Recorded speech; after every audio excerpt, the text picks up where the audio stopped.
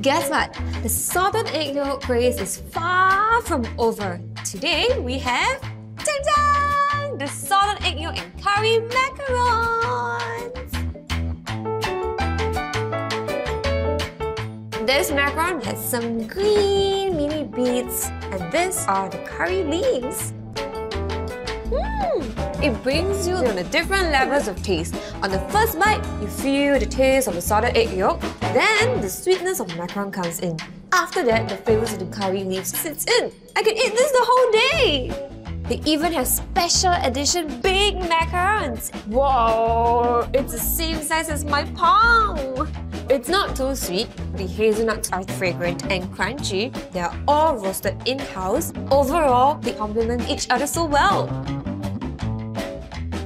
which is your must try.